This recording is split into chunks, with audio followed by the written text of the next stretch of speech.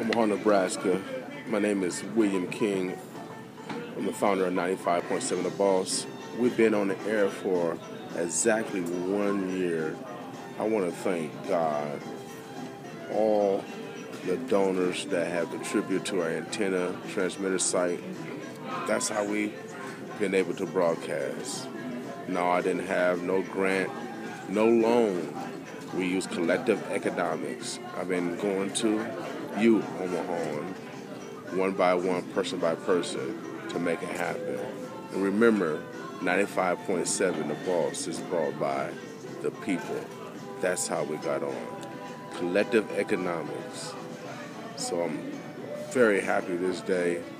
Uh, a year, uh, no one expected a kid from Hilltop Projects, a mama that couldn't read, and two generations from slavery to get it done.